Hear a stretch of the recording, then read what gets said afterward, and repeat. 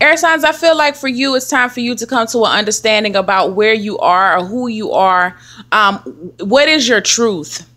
I feel like um, for, for some of you, you have been denying a side of yourself, or you, yeah, you've been denying something towards yourself you have been denied it could be some type of change behavior it could be an action um I feel like you have just gotten yourself into a rut and you know this. That's the thing about it. You know this and you're not trying to do anything about it. But I feel like today you're going to really see that your um, complacency or even lack of motivation, how it has. Um, it's hindered you in some type of way and you can't and, and i feel like for some of you like damn I knew that was going to happen.